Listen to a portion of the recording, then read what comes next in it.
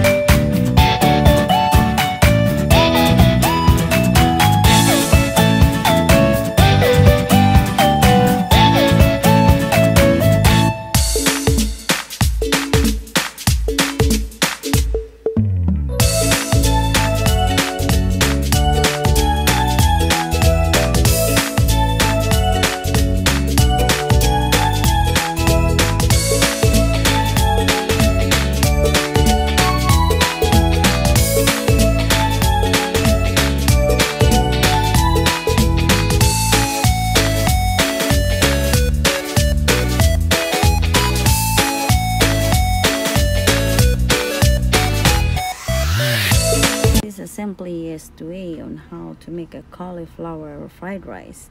So it is alternatives for the rice. Rice is a carbohydrates but cauliflower rice is a very healthy.